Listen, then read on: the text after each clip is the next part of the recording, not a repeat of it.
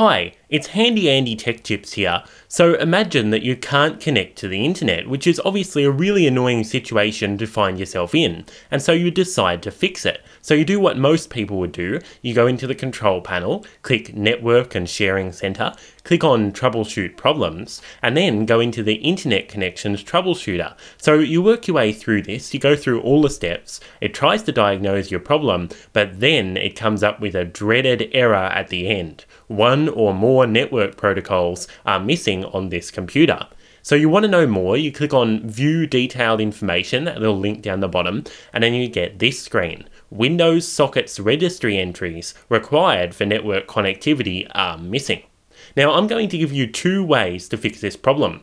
And the first way sounds ridiculously simple, it sounds like it could never work, but it actually does, at least it did for me. Just check that all of your network cables are plugged in. That includes the ethernet cable going to your PC, all of the cables in your router and anything along those lines. But if this fix didn't work for you, then I've actually got another solution, and it's a software based solution. Basically what you're going to be doing is resetting Windows TCP IP stack. But don't worry, it's actually easier than it sounds. So first, what you need to do is open an administrator command prompt. The easiest way to do this is to simply right click on the start menu and click on command prompt with admin in little brackets after it. You might need to provide your administrator password or the password of an administrator on the system, but then you'll get this command prompt open.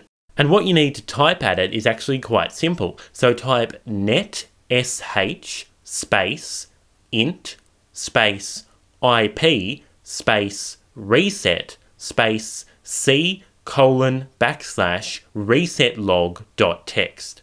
So then just press enter and it should go through all of the steps like resetting interface, neighbor, path, and then if you're lucky, it should say resetting was successful. If it does say this, then all you need to do is restart your computer and your internet access should be fine. But if it comes up with a similar screen to the one I've got here, where it says resetting failed and access is denied, then it essentially means that the process didn't work. What the problem is, is that you don't have permission to run the NetSH utility. So we're going to fix that using the Windows registry.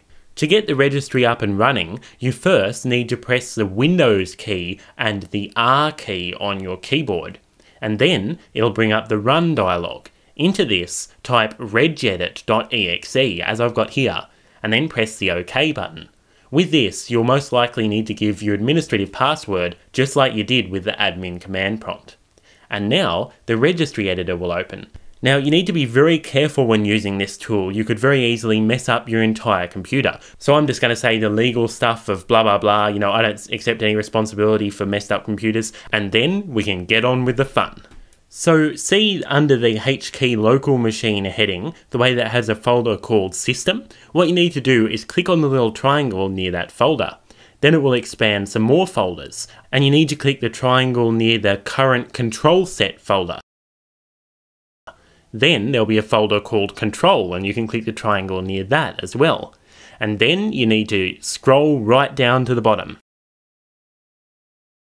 until you find the NSI folder, this little one here. Then you need to click the little triangle near that one, and don't worry, we're almost done now. So then you'll get all of these folders with these weird looking hex characters in their names. You need to click on the one that, which is on my system, the third down from the top. As you can see, that name there, I'm not even going to try and pronounce it, but that is the name. So then you need to click on the triangle near that one, and then underneath that, finally, we get to the folder that we're looking for, the folder called 26. So good job for making it this far, but we've still got a few more steps. Next, you need to right click on the 26 folder and click permissions. Then you'll notice that there will be a group called everyone and there'll be all these little checkboxes for the permissions that you can assign. You need to click the checkbox near full control. Then you can click the apply button, click the OK button, close registry editor, and then remember a little while ago we typed that command into an administrator command prompt? Well, you basically need to do that again. And this time it should come up with a message like this, resetting is successful. Then reboot your computer and you should be back on the internet in no time. So thank you very much for watching this video. I certainly hope it helped you. I'm Handy Andy and please subscribe for more how-to videos.